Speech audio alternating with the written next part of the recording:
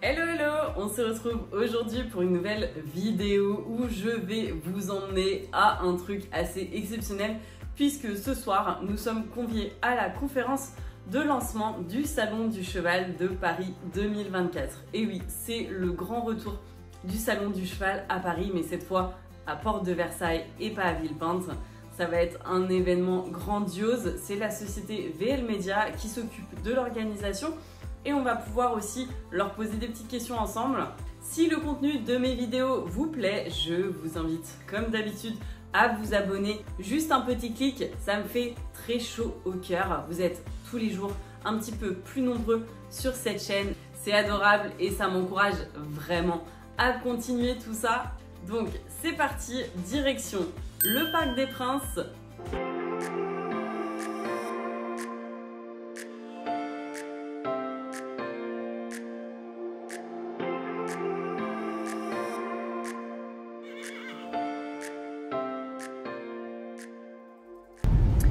En route. Je voulais vous faire un petit état des lieux euh, ben, du temps qu'on allait mettre. On va mettre environ, euh, là il nous reste une bonne vingtaine de minutes de route. Mais évidemment, ma voiture en a décidé autrement puisque le Bluetooth ne fonctionne pas et que je n'arrive pas à connecter mon téléphone. On adore ce genre de petits soucis techniques. Dans un kilomètre, continuez tout droit. Merci Wade. Ça y est, on est arrivé, il fait magnifique. Quel temps Il fait froid. Bon, après quelques petites galères, on va pouvoir enfin rentrer.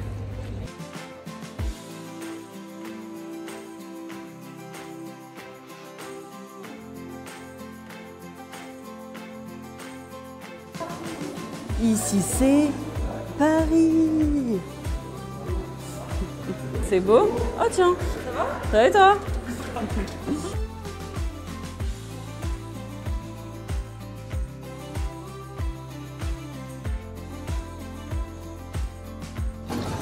Alors on fait un petit test, un test. en fait, euh, test micro. Donc euh, là on va faire euh, sans le réducteur euh, de bruit. Bonjour, comment vous appelez-vous? Anne, enchantée. Enchantée, moi c'est Aurore. bah, je crois que c'est bon là. Donc je me demande si ça Test c'est pas la 1, 2, 1, 2. Super. C'est n'importe quoi. Mais qui voilà? Ça va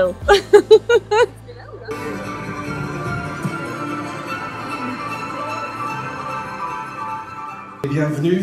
Euh, on a eu peur, euh, évidemment, euh, avec les problèmes d'intempéries. Il y a beaucoup de monde qui n'ont pas pu accéder ou prendre le risque de venir jusqu'à nous, mais heureusement parce qu'il y a plus de place. En tout cas, vous êtes vraiment les, bienvenus.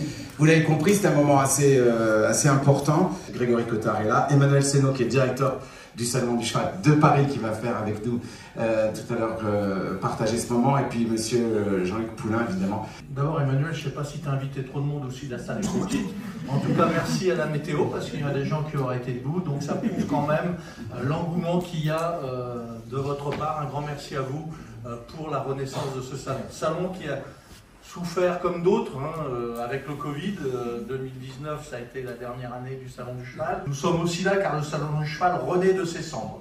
Et cela me va droit au cœur et va droit au cœur de toute la communauté du cheval, en particulier de tous les nostalgiques du Salon du Cheval de Paris, qui s'étaient pendant de longues années euh, excentrés à Villepinte. À nos chevaux, à nos chevaux et à nos chevaux. merci, Président. le plaisir d'être cavalier, mais aussi des passionnés. Euh,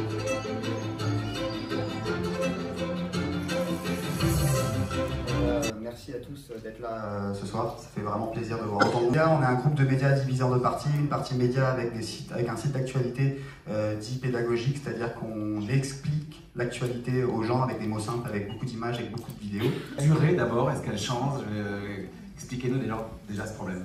Alors, regardez pas trop l'écran, parce que ça peut faire mal aux yeux. hein. Je, je vois que ça clignote un peu. Euh, il y a un peu plus d'un an et demi, avec les équipes de VL, vous allez voir, qui vont s'afficher sur, sur, sur l'écran, on s'est intéressé à cet événement pour essayer de comprendre euh, pourquoi il n'existait plus, parce que c'est un événement qui nous manquait. Quand vous regardez un peu les commentaires sur les réseaux et ce qui se dit, et même à vous professionnels quand on vous en parle, c'est un salon qui manque. Euh, on a commencé à prendre contact avec les exposants, avec euh, ce qui se disait aussi sur les réseaux, pour comprendre pourquoi, qu'est-ce qui allait, qu'est-ce qui marchait moins bien, à voir comment on pourrait dessiner un schéma pourquoi les gens qui y sont allés ne sont pas allés jusqu'au bout de ce salon-là, parce que beaucoup d'acteurs, euh, parfois bien plus gros que nous, se sont intéressés à, cet événement et pourquoi ils ne sont pas allés jusqu'au bout. Avoir les reins solides et avoir une vraie stratégie euh, pour reprendre cet événement-là. Une fois qu'on avait trouvé cette stratégie, je suis allé voir Jean-Luc, je m'en souviens, euh, j'ai ce projet-là, euh, voilà comment on aimerait le faire, est-ce que tu m'autorises à aller plus loin et d'essayer de construire quelque chose de vraiment très sérieux? Et à partir de ce moment-là, avec mes équipes, on a fait quelque chose qui est très simple, c'est qu'on a euh, repris contact simplement avec des exposants, avec euh, des cavaliers, avec plein de professionnels du secteur pour comprendre, pour voir quelles sont, leurs attentes, comment euh, les, choses évoluent, euh, comment on perçoit le cheval, c'est-à-dire qu'aujourd'hui le bien-être animal, c'est pas du tout le bien-être animal d'il y a 5 ans ou d'il y a 10 ans, donc il y a d'autres choses qu'il faut revoir, et la façon de faire le sport, compte 3 jours, vous avez compris quand même qu'il c'est un salon qui a des problèmes économiques à la base, et donc du coup notre ambition, c'est pas de faire un one-shot et qu'on s'arrête après parce qu'on a cramé la caisse, l'idée c'est vraiment de le faire revenir de manière progressive, avec une vraie santé financière, qui soit fort dans sa maison mère, porte de Versailles, là où tout a commencé. On ne pouvait pas partir en cacahuète, reprendre 5 halls comme à l'époque, et donc on a voulu être humble en commençant avec deux halls, en travaillant avec le championnat du monde des chevaux arabes. Évidemment, on garde tout ce qui est village enfant, on garde tout ce qui est euh, espace d'innovation, les métiers, les races, expérience concours repensée. En équipe, on est tous des passionnés. Euh, on est tous propriétaires pour certains, éleveurs pour d'autres, cavaliers. Donc on s'est rendu compte de quelque chose qui est très simple, c'est qu'on euh, ne peut pas remettre le concours comme il était à l'époque. Mais la première année, il n'y aura pas de professionnels, il y aura des amateurs et euh, des poneys. On s'est rendu compte que finalement, pour quelqu'un qui ne connaît pas le CSO, eh ben, il s'assoit sur, un fauteuil et il va avoir 30 fois le même tour et l'expérience s'arrête là pour lui. Comment on peut rendre la chose vibrante et excitante? Et on a repensé totalement ça, c'est-à-dire qu'on s'est dit qu'on allait prendre moins de cavaliers, mais que chaque cavalier, on allait les starifier, une espèce d'ambiance de folie qu'on retrouvera nulle part dans un indoor, parce qu'on veut donner cette image-là du salon du cheval avec des paris, c'est-à-dire qu'on pourra parier sur le cavalier euh, et gagner des cadeaux euh, sur le cavalier qu'on pense qu'il qu pourra gagner. Sur l'élevage. Trois mots donc pour résumer cet événement sport, passion et surtout bien-être animal. C'est-à-dire remettre le salon du cheval dans Paris avec euh, euh, la possibilité donc d'aller d'aller passer le week-end à Paris, mais aussi d'aller euh, visiter Paris et, et d'alterner, ce qui n'était pas toujours facile quand on était à Villepinte. Hein.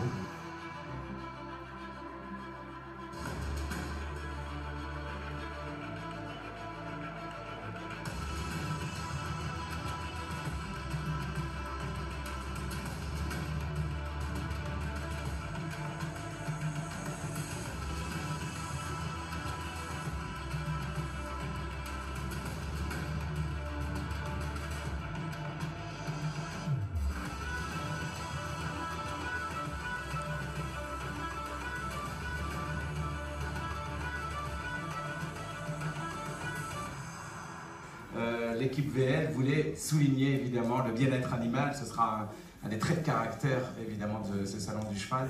Et vous êtes évidemment l'un des représentants euh, du bien-être euh, animal. Ma question, elle est simple. Est-ce que c'est facile de communiquer euh, cela? Et est-ce que c'est indispensable aujourd'hui? Et est-ce que ça nuit à votre carrière ou pas? Hum, C'est facile pour moi, oui, c'est assez simple.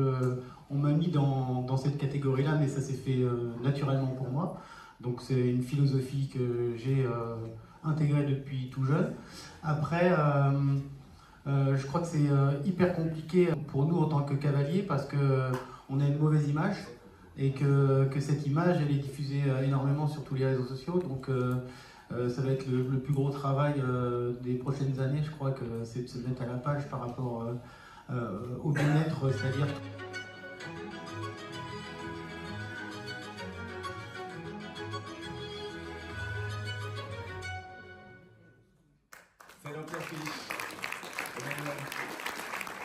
Eh les gars, je suis avec une star.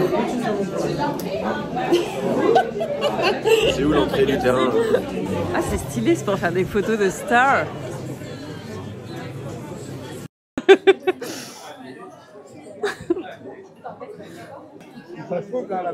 Je sais pas ce que c'est, mais bon, ça se mange. Je sais pas. De la déco Mais non, pas du tout. Ah, je jure. Tu peux m'attraper un petit saut Je t'attrape. Merci, baby. Attends, je la fasse pas tomber. Mmh. c'est pas.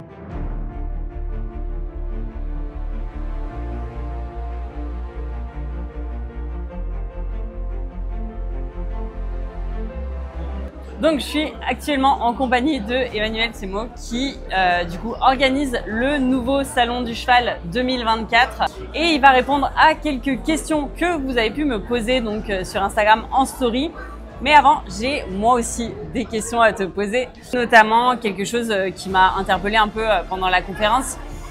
Tu parlais de 60 000 visiteurs. Est-ce que tu n'as pas peur, au vu de l'ampleur du retour du Salon du Cheval, euh, qui est euh, surpopulation et une surenvie de, des gens de venir et que du coup, il y ait beaucoup de déçus Mm. puisqu'ils ne pourront pas venir C'est une hyper bonne question et qui revient souvent. En fait, nous, on veut, on veut pas faire de déçus, mais il y a- y, a toujours des déçus malheureusement. Forcément, il y en aura, Donc, mais- mais, mais l'idée, c'est de, content- de contenter un maximum de personnes. On veut quand même que ce soit un salon aéré. C'est pour ça qu'on limite la billetterie, pour qu'au moins euh, les gens, quand ils y seront, ils se sentent bien. Euh, ils puissent euh, faire leurs courses, découvrir les chevaux, les animations, les races, qu'ils apprennent plein de choses, faire découvrir de l'art, des expériences. Et s'il y a tout le monde qui vous, qui vous oppresse, ça casse l'expérience. Donc c'est juste impossible.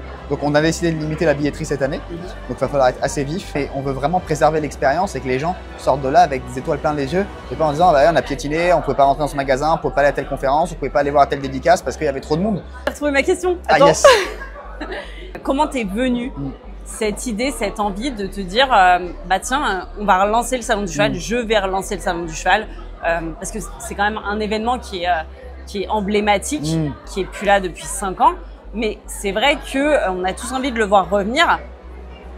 Quoi, toi, un jour, tu t'es levé, tu t'es dit, tiens, je vais, je vais relancer le salon du cheval. Non mais euh, t'as raison de poser cette question et parfois même la légitimité pour le faire. En fait c'est très simple, déjà je suis, je suis né euh, de- dedans, je suis tombé dans la marmite très tôt, depuis l'âge de 3 ans euh, je monte à cheval, euh, je suis passé par les différentes étapes, club, amateur, je suis propriétaire, je fais mettre mes chevaux Bah, maintenant. finalement, je vais peut-être te poser les questions de Cotard, non donc, du coup, euh, ce salon, je l'ai fait quand j'étais petit à Porte de Versailles. Euh, je l'ai fait à Villepinte en tant que cavalier, en tant que euh, même juste visiteur. Et c'est quand même un endroit où on ressort avec des souvenirs. Alors forcément, ça contente pas tout le monde, mais, mais on ressort avec des souvenirs. euh, il se passe quelque chose. Il fallait que ça revienne. Déjà, ça a été juste euh, par curiosité, essayer de comprendre pourquoi ça allait pas jusqu'au bout, pourquoi les études de faisabilité n'aboutissaient pas. Et donc du coup, c'est comme ça que je me suis un peu intéressé au projet. Je suis allé voir euh, pas mal d'exposants et, euh, et, et de professionnels de la filière. Comment on pourrait faire venir ça dans les meilleures conditions Le Sénéca. en fait, un matin, tu t'es réveillé et tu t'es dit. C'est euh, progressif. Tiens, Plusieurs matins. ok. Euh, on passe du coup aux questions euh, de mes petits followers. Pourquoi avoir attendu 5 ans, si longtemps? J'imagine que c'est toute une question d'organisation, euh, qu'il y avait le Covid aussi, que ça joué forcément à la défaveur du salon du cheval. Il y avait le côté ville peinte et tout. Il faut savoir quand même, les, personnes qui organisaient ça sont les organisateurs actuels du salon de l'agriculture. On passe pas derrière n'importe qui. Donc il y avait forcément des raisons déjà économiques à cet événement. Ensuite il y a eu l'effet Covid où c'était juste impossible. Derrière, les différents opérateurs qui euh, se sont présentés et qui ont essayé de le relancer n'ont pas réussi. Moi je suis arrivé un peu en- à la fin de tout ça. C'est-à-dire que moi ça fait qu'un an que je m'intéresse à cet événement-là, que le projet a mûri, que je l'ai construit avec les exposants, avec, des, avec également des visiteurs de, de différents niveaux, que ce soit du cavalier euh, club euh, jusqu'à la cavalière professionnelle, en passant par le directeur de centre équestre, de différents. Donc tout ce cheminement, on peut pas dire tiens je vais reprendre le salon du cheval et le faire. Être connecté à ce que veulent vraiment les gens et pas se faire un salon parce que je veux me faire plaisir et mettre ce que j'aime. Non, je veux connecter ce que les gens aiment et leur donner ce qu'ils aiment en fait. C'est le salon de tout le monde en fait. Moi, je pense que c'est une bonne base. Enfin, vraiment, de, de s'intéresser justement à ce que veulent euh, les personnes. Euh, c'est quoi le plus gros élément euh, de stress, ton plus gros stress dans cette organisation? Le- nous, nous, on est assez, ça va paraître fou, mais on est assez serein sur, le, sur ce que les gens ont peur. On est très serein sur le programme, sur est-ce que les gens vont aimer. Parce qu'on on a l'habitude des événements et quand vous regardez les événements qu'on organise, ce que les gens en disent sur les réseaux, euh, sur les avis Google ou ce que même les exposants disent de nous, c'est hyper encourageant. Nous, sur le contenu, Mhm. on est assez serein. Et on va tout faire pour parce qu'on est entouré des bonnes personnes et qu'on a une super équipe. Tout ce dont on a peur, c'est les déçus et le monde. C'est-à-dire que maintenant qu'on a tout ce monde, il faut savoir canaliser. C'est ta première question euh, qui le, qui, qui le disait. C'est qui, attention, à pas avoir trop de monde et pas à vouloir euh, toujours aller plus, faire plus, plus, plus, plus. Qu'est-ce qu'il y aura comme animation, spectacle de prévu, en gros il y aura évidemment toutes les animations traditionnelles qu'on a l'habitude d'avoir. Euh, la seule différence, c'est que nous, euh, pour arriver à un volume assez conséquent, parce qu'on a moins carrières d'animation puisqu'on n'en a qu'une, on va faire des animations plus courtes mais qui vont plus vite s'enchaîner. Entre 9h et 22h, toujours en préservant le- la santé et le bien-être des animaux. On ne peut pas surexploiter les animaux, c'est pas naturel d'être dans un hall, donc on veut les mettre dans les meilleures conditions, que ce soit pas les mêmes euh, chevaux d'exposition le matin et l'après-midi. Il y aura les présentations des métiers, il y aura euh, les conférences, des masterclass, Enfin, il, y aura, il y aura plein de choses histoire de contenter le maximum de personnes. Spectacle aussi. Avec Et il y des aura du spectacle, mélanger humour et spectacle. Donc il y aura autant d'humour que de spectacle durant la nuit du cheval. Il y aura même des youtubeurs, enfin on veut aller très loin dans le concept, représenter le maximum de disciplines et tout ce qui tourne autour de l'équitation, être pédagogue et évidemment qu'on s'amuse lors de cette nuit du cheval. Quand est-ce que vous allez répondre aux demandes de bénévolat? Alors c'est une très bonne question et je suis content que tu me la poses parce qu'on ne s'est pas encore exprimé sur ce sujet-là. On a reçu un nombre de demandes qui est juste dingue, mais on Ok. s'attendait pas du tout à ça. Euh, Ça sera courant mars. À partir du moment où on aura le programme définitif. Laissons-nous encore le temps de bien construire le programme, d'être entouré des bonnes personnes pour faire quelque chose aux petits oignons. Et le jour où ça c'est finalisé, on prendra contact avec les bénévoles pour leur expliquer et que, et que eux aussi vivent une vraie expérience et qu'ils soient fiers d'être eux aussi des ambassadeurs de la marque Salon du Cheval de Paris. Avant-dernière question. Quelles sont les épreuves, disciplines prévues pour les amateurs? Alors, je- Alors moi je connais déjà la réponse puisque j'ai assisté à la conférence. Il y aura peut-être des déceptions, mais ce n'est que la première édition, donc je pense que voilà, Emmanuel va nous répondre tout de suite. Il faut, faut déjà prendre le contexte. Un- cet événement, on le remet en place. Il demande, il demande des efforts considérables en termes de stratégie et d'organisation. On veut le faire durer dans le temps. On veut pas qu'il revienne juste un an. Et donc, on pouvait pas repartir dans des compétitions extraordinaires avec toutes les disciplines qui étaient représentées. Toutes les disciplines seront visibles, mais au niveau compétition pure et dure sportif, on a décidé de mettre à l'honneur les amateurs et notamment les amateurs en saut d'obstacles. En train de plancher aussi sur du cross Shetland. On est aussi en train de plancher sur du poney, évidemment, à très haut niveau, euh, mais avec une ambiance complètement revisitée. L'idée, c'est pas de revoir un énième indoor. C'est-à-dire que nous, la promesse de valeur, c'est d'avoir des cavaliers starifiés, une ambiance de malade. On va mettre des chauffeurs de salle, il va y avoir des effets spéciaux, il y aura le fauteuil qu'on voit dans tous les 5 étoiles où les barragistes peuvent s'asseoir dedans le temps de, que le prochain passe et ce qui va. Bref, on veut mettre tout, euh, tous les ingrédients d'un 5 étoiles, mais en fait sur un amateur, parce que euh, ça le mérite de- de- de- d'exister et surtout ça le mérite d'avoir des cavaliers qui sont finalement ceux auxquels le grand public peut le plus s'identifier. Donc les gens pourront parier sur leur cavalier favori et gagner des cadeaux. Il y aura une note éthique importante qui ne sera pas décisive dans le résultat, mais qui donnera euh, plutôt un. L'idée c'est pas de dire lui c'est bien, lui c'est pas bien. L'idée c'est d'expliquer, d'être pédagogue, d'expliquer en quoi c'est éthique, plus ou moins euh, dans, dans Rester la. autour voilà, du, c'est- du bien-être du cheval. Exactement, mais sans faire semblant. On, Voilà. on va aller vraiment à fond là-dedans. C'est hyper important parce qu'encore une fois, je le rappelle, mais euh, il y aura pas mal de chevaux évidemment qui seront présents dans, dans l'événement. Mais amener des chevaux dans un hall, faut pas oublier que c'est pas naturel au cœur de Paris. Très bien. Alors, on passe à la dernière question. Quels seront les tarifs du coup d'entrée Euh, Est-ce qu'il y aura des avantages tarifaires euh, pour les cavaliers Euh, Est-ce que ça sera le même prix, voilà, public cavalier? J'attends ta réponse. J'ai un, petit trou sur, la vitrine. C'est 16, non? Ouais, j'ai- Mais moi, je le sais.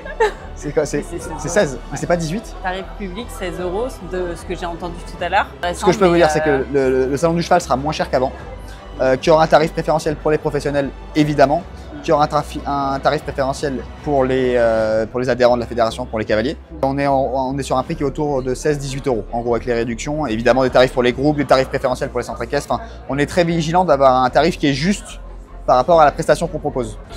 Merci beaucoup Emmanuel Bah, merci à d'avoir toi répondu à toutes ces questions. Et euh, du coup, bah, forcément, on se retrouve du 6 au 8 décembre. Retenez bien cette date au Salon du Cheval de Paris, porte de Versailles. Alors là, c'est un truc que vous verrez rarement. Franchement, je suis pas très foot, mais euh, bah en fait, on a le Parc des Princes pour nous tout seul. Et il neige, enfin il pleut neige, mais il fait froid.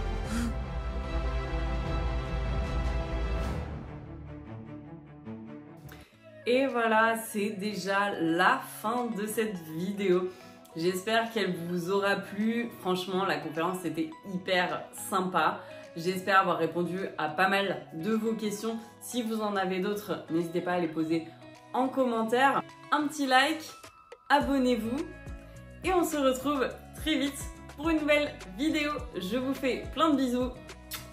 Bye bye